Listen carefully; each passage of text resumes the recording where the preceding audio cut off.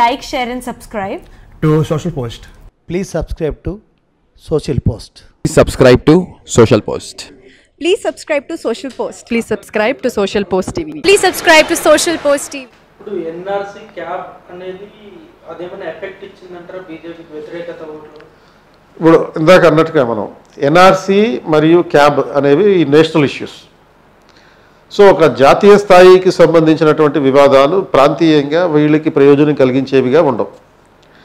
So బీజేపీకి ఒక specific agenda లేకుండా ఒక లోకల్ ఎలక్షన్స్లో పాల్గొనడం. అంటే ఒక స్టేట్ ఎలక్షన్స్లో పాల్గొనడం అనేటటువంటిది కొంచెం ట్రబుల్ ఇష్యూ అంటే రీజన్ ఏంటి? ఇప్పుడు యూజువల్గా మనం ఈవెన్ తెలంగాణలో కూడా చూసాం.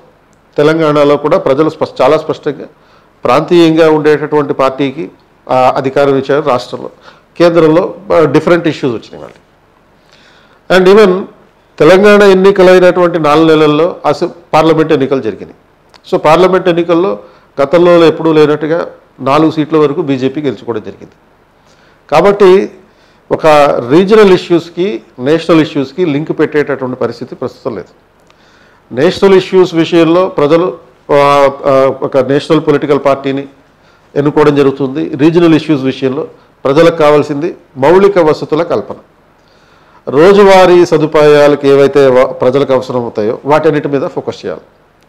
ఇప్పుడు సపోజ్ మనం రాజశేఖర రెడ్డి గారు కూడా వరుసగా రెండుసార్లు ఎలక్షన్స్లో గెలవడానికి ప్రధానమైనటువంటి కారణం అదే.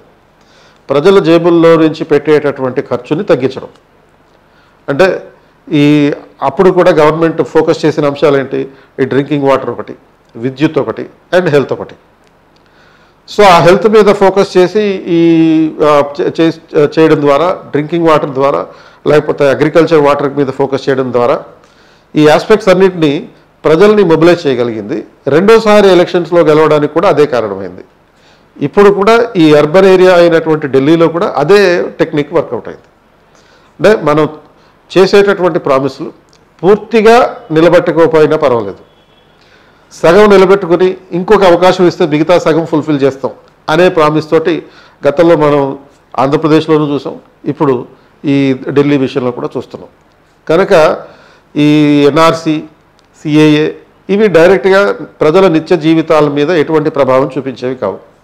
ఒక రకంగా చెప్పాలంటే ఈ సిఏఏ ఎన్ఆర్సీ ఇవి కేవలం అఫెక్ట్ చేసేది ఎవరిని అస్సాంలో ఉన్నటువంటి పీపుల్ ప్రజల్ని మాత్రమే ఎక్కువ అఫెక్ట్ చేస్తుంది.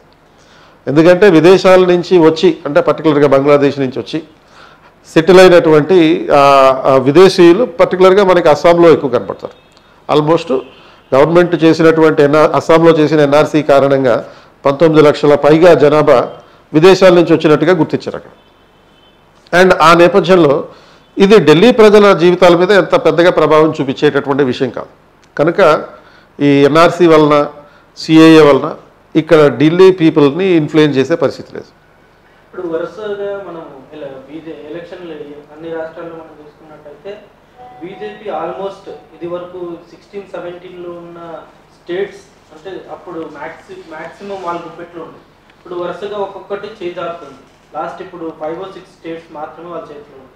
ఎందుకు ఇంత డ్రాస్టికల్ చేంజ్ ఎందుకని వచ్చింది? ఎందుకని బీజేపీని పబ్లిక్ నమ్మారు అదే ఇప్పుడు మనం బీజేపీకి ఒక నేషనల్ పార్టీగా గుర్తింపు ఉండడం.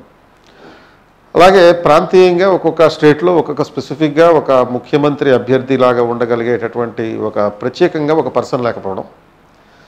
ఈ రెండు పార్టీ పరంగా కారణమైతే జనరల్ పర్స్పెక్టివ్లో చూసినప్పుడు ఈవెన్ కొన్ని ఎకనామిక్ ఇష్యూస్ కూడా ఫైనాన్షియల్ పాలసీస్ కూడా కొంతవరకు కారణమవుతున్నాయి. అంటే గవర్నమెంట్ ప్రజలు ప్ర- ప్రభుత్వం నుంచి చూసేది ఏంటి అంటే ఒక తమ నిత్య జీవితంలో ఎటువంటి ఒడిదుడుకులు లేకుండా కొన్ని పరిపాలనా సదుపాయాలు గవర్నమెంట్ ఇవ్వాలనేటటువంటిది. కానీ ఈ టూ థౌజండ్ సిక్స్టీన్లో గవర్నమెంట్ ఈ డిమానిటైజేషన్ చేసినప్పుడు ప్రజలు దాన్ని సపోర్ట్ చేశారు. సపోర్ట్ చేసిన దానికి ఈక్వల్గా గవర్నమెంట్ స్పందించలేదు. సో స్పందించలేకపోవడంతో ప్రజల చేతుల్లో డబ్బులు తగ్గిపోయినాయి కరెన్సీ తగ్గిపోయింది అండ్ ఈవెన్ రైతులు మాత్రమే కాకుండా కొన్ని స్మాల్ స్కేల్ ఇండస్ట్రీస్కి సంబంధించిన వాళ్ళు కూడా నష్టపోయారు. ఆ వాటిల్లో పనిచేసేటటువంటి పరిశ్రమల్లో పనిచేసే ఉద్యోగులు కూడా ఉద్యోగాలు పోవడం జరిగింది. అండ్ అతి ముఖ్యంగా ఈ డిమానిటైజేషన్ కారణంగా ఆటోమొబైల్ సెక్టర్ మీద కూడా విస్తృతమైనటువంటి ప్రభావం పడింది. అండ్ ఆల్మోస్ట్ పది లక్షల మంది వరకు ఈ ఆటోమొబైల్ రంగంలో ఉద్యోగాలు కోల్పోయారు. సో టోటల్గా ఏమవుతుంది? ఇక్కడ ఉద్యోగాలు ఎప్పుడైతే పోతున్నాయి ఆదాయాలు పోతున్నాయి ఆదాయాలు పోవడంతో తమ జీవన ప్రమాణ స్థాయి తగ్గిపోతుంది. సో దీని అంతటికీ ఎవరో ఒక కారణం వెతకాలి. వెతికినప్పుడు వాళ్ళకి ఇమీడియట్గా కనపడుతున్నది కేంద్ర ప్రభుత్వంలో ఉన్నటువంటి పార్టీ అనేటటువంటి పరిస్థితి.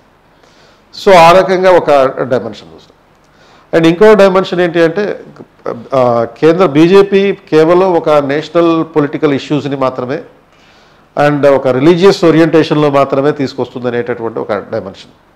కాబట్టి ఇవి ప్రజల జీవితాలకి ఎటువంటి ప్రభావం డైరెక్ట్గా చేసేటటువంటి విషయం లేదు. కనుక అయితే ఇప్పుడు మనం ఇప్పటికిప్పుడు బీజేపీ అంత అంతమైపోయిందని కూడా చెప్పలేం. ఎందుకంటే ఇందాక అనుకున్నట్టుగా ఒక నేషనల్ ఇష్యూస్కి బీజేపీని చూస్తున్నారు. రీజనల్ ఇష్యూస్ కోసం ఒక రీజనల్ పొలిటికల్ పార్టీ మీదనే ప్రజలు ఆధారపడుతున్నారు. కనుక మళ్ళీ two thousand twenty four elections వచ్చే నాటికి మళ్ళీ ఇంకో పెద్ద ఒక బిగ్ టికెట్ తోటి వస్తారు వాళ్ళు. వచ్చినప్పుడు తిరిగి మళ్ళీ ఎన్నికల్లో గెలిచే అవకాశం ఉంది నేషనల్ లెవెల్లో. Please like share and subscribe to social post please subscribe to social post please subscribe to social post please subscribe to social post please subscribe to social post TV please subscribe to social post TV please subscribe to social post please subscribe to social post please subscribe to social post TV ఒకసారి చెప్పండి master ఏ మాటకి?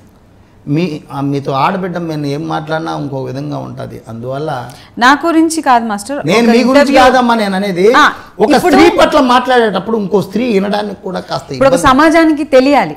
So ఇప్పుడు ఇది మీరు చెప్పేది ప్రతి ఒక్కటి నన్ను ప్రతి ఒక్కరు చూడాలి కాబట్టి. మీరు చెప్పండి మాస్టర్. మీకు టాప్ తెలుగులో ఒక మాట అడిగారు. మీ యొక్క శరీరంలో మీకు నచ్చింది ఏంది? ఐ థింక్ చొప్పు తీసి కొట్టాలనిపించింది మోకాన శ్రీరెడ్డిని నన్ను నాకు. నా చొప్పుతో కొట్టాలనిపించింది. మై పుసి.